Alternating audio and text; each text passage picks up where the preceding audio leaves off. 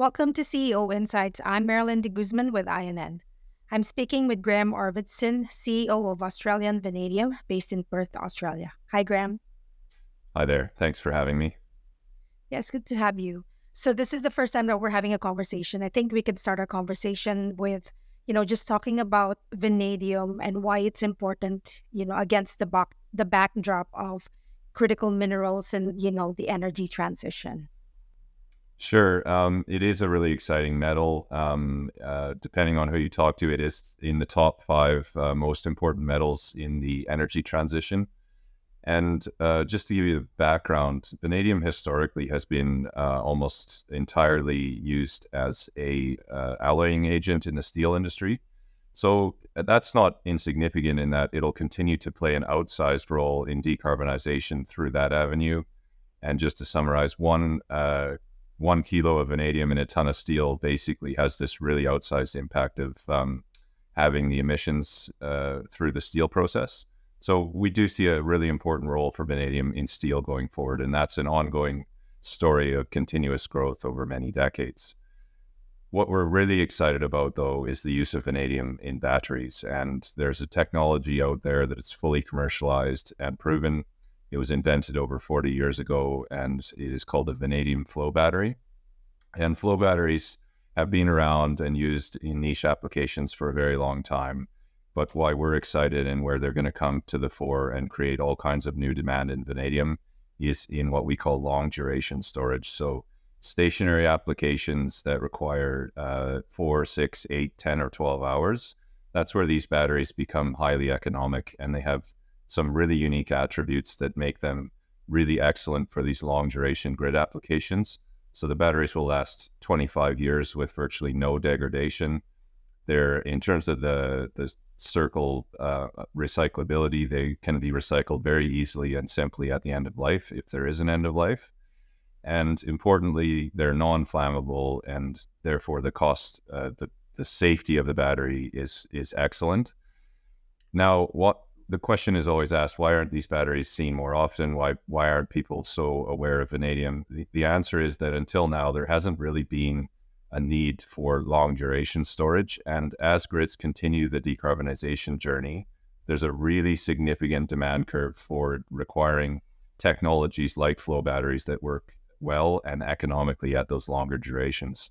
So I think you'll see um, it's already happening in China. You're seeing massive growth in flow battery installations, uh, really significant demand growth, and also interestingly, in lockstep in China, they're installing manufacturing capacity for these batteries as well.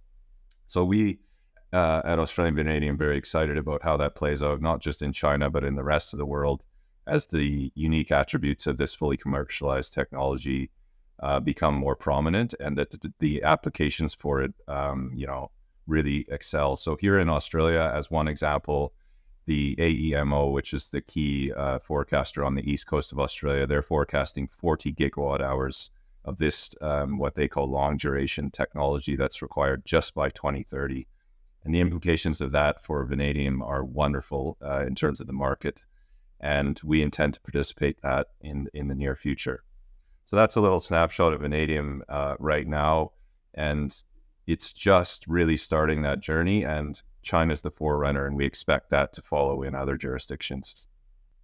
Right. So it's it's uh, probably a good time to talk about your company. Um, you know, as we said, this is the first time we're having a conversation. Maybe provide our audience sort of an overview of what um, AVL or Australian Vanadium is, uh, what your value proposition is, and why should investors be interested in your company. Wonderful. Thanks for the opportunity to speak. Look, at Australian Vanadium, uh, our core thesis is, is to be a, a low cost producer of vanadium oxides. And our core strategy we call pit to battery. So, why should you be interested in AVL? Is we are situated in the Midwest of Western Australia. So, jurisdictionally, currently 60% of the world's vanadium supply comes from China, another 15% from Russia, and another 10% from South Africa. There's a real need for additional jurisdictional production. And the Midwest of Western Australia here, we have some of the best VTM deposits that fight vanadium, titanium, magnetite. All of the world's primary production comes from these VTM style deposits. And AVL is one of the most, if not the most advanced primary uh, development assets in the world. And how we intend to be a low cost producer is simply by having a really good ore body. We have a very long mine life, 25 years, and we have some excellent vanadium grades that will basically underpin why we can be a low cost producer. And then, furthermore, not to be overlooked, we are uh, a team of vanadium experts on our board. We have Daniel Harris, who's been in the industry for many decades, very well known as as a vanadium expert. Our COO, Todd Richardson, has been operating in vanadium assets his whole life. And myself, in a past life, has operated a vanadium asset as well. So we're deeply knowledgeable and we're very lucky to be um, underpinned by a very um, advanced uh, low cost asset. So we intend to be a tier one producer here in Western Australia in the near future. And uh, the investment proposition really is to get behind the asset now as we continue to finalize all the things to de-risk the asset. So finalizing permitting, financing, offtake, and the various things that flow past the DFS. So our economics are currently underpinned by a definitive feasibility study and uh, I think we could talk very quickly now about the merger that we just completed that really um, improves our odds of success.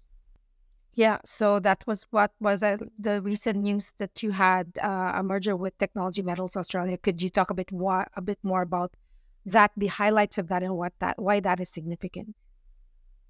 Yes, thanks. Um, really significant for both of our companies to come together. Um, we enter into a scheme of arrangement in September to join the two businesses together. And we've just completed that process in early February to become one bigger, better project. And I would just highlight the really important things that flow from that merger. Uh, first and foremost is that all of the key strategic imperatives that both of our businesses were pursuing are going to become simpler now. So we're both pursuing advanced assets where we need offtake uh, financing, and that's debt and equity. Um, and we need to finalize our permitting, and all of that becomes a simpler story. So even as a, a standalone uh, entity, as one entity, all those things will become easier. But ultimately, why mergers uh, can achieve what we think is one plus one equals three is the physical properties of the asset. So the obvious things like uh, rationalizing infrastructure are there, and we're going to pursue those to improve the economics of the project. But actually, bringing these tenements together offers us opportunities as well to improve the economics of the assets. So, we're uh, trying to finalize a series of trade off studies that will be uh, finalized in the next quarter. And off the back of that, we'll refresh our feasibility study to include the what we think are very material benefits to the asset and financeability and profitability and then NPV of the project. So really exciting uh, few months ahead of us as we uh, work through what the combined asset can look like. And we look forward to updating our investors as we get through that. Is part of the, the strategy moving forward to, um, uh, you know, eventually produce the vanadium? And if so, for offtake agreements that you're anticipating, are you anticipating more coming from the battery sector than the traditional uh, you know, steel outlook. What are your thoughts on that?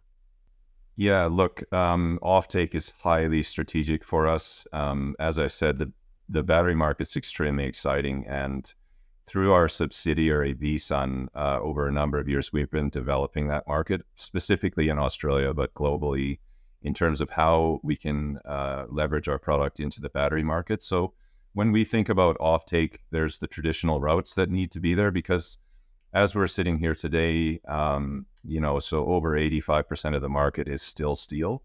In the last uh, three or four years, it has, in terms of use in batteries, it has gone uh, from less than 1% of the global market to what is now today over 10%. So that's a pretty staggering change over only sort of three years.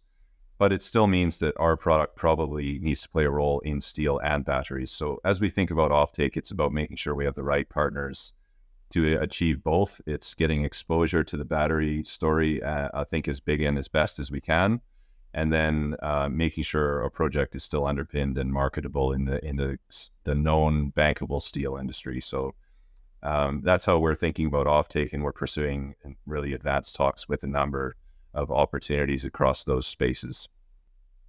So, what are your plans for 2024? What can the investor community expect from the company this year? Look, I think the the main catalyst to look out for is um, how this merger comes together. So, I think we can, uh, by the end of this next quarter, we can really shed some light on uh, the work we've been working on since we announced the merger in September, finalizing that work, and then letting our investors know where we think that'll take us with the project in terms of improved economics. Um, then there's just the obvious and uh, same uh, strategic imperatives as before that will continue to unlock valuation of this project, and that is finalizing all of our approvals, securing that offtake. So we produce vanadium, but we also produce some co-products, and getting binding offtake for those co-products will, I think, uh, give us in, our investors further confidence in the economics of the project, um, and really financing. So as as the projects come together, we can really put our foot down on progressing the debt financing side as we seek to get really favorable uh, government-related uh, debt funding opportunities and uh, we do, if our investors recall, we've secured a $49 million federal grant, um, 10 million of which we were paid in June last year. But we're working really hard to continue to unlock um, the additional milestone payments from that $49 million grant and look forward to updating the market as that unfolds as well. Great. Well, thanks, Graham, for joining me and uh, speaking with me today about your company. My pleasure. Thank you. Thanks. And thanks everyone for watching. Join us again next time for another engaging conversation on CEO Insights. If you like this video, make sure you subscribe to our channel and turn on notifications so you don't miss future updates and interviews. See you next time.